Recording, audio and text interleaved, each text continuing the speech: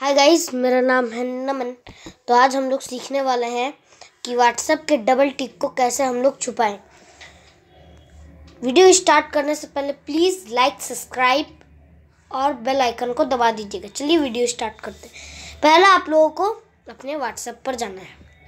WhatsApp पर जाने पर मैं किसी को मैसेज करता हूँ हाय मैंने, मेरे पास दूसरा मोबाइल है, मैं उसी पर मैसेज करता हूँ हाय तो मेरे दूसरे मोबाइल पर हाई आ गया है और यहाँ पे देखिए डबल टिक हो गया है। इसी डबल टिक को हम लोग को हाइड करना है।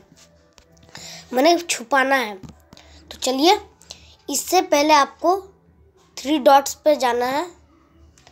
जाने पर सेटिंग्स पर जाना है अकाउंट पर जाना है प्राइवेसी पर जाना है और रीड रेसिपेंट्स को बंद कर देना है।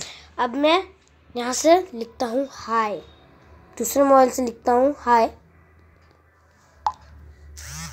तो मेरे दूसरे मोबाइल में डबल टिक नहीं होता है। ऐसे ही हम लोग करते हैं डबल टिक हाइट अब डबल टिक को लाएँगे कैसे?